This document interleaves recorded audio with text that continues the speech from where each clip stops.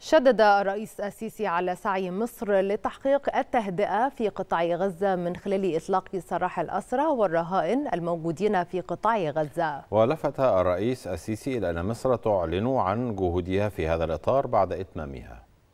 يتبقى إن إحنا بنبذل جهد أيضا أنا بقول بس للجميع يعني إن إحنا حريصين أيضا على إن إحنا يبقى لنا دور إيجابي في تخفيف حدة الأزمة من خلال إطلاق سراح الأسرى والرهائن اللي موجودين في القطاع وبنبذل جهد بس مش كل حاجة بيتم الحديث عنها. يعني لما بتخلص بنبقى هنعلن عنها.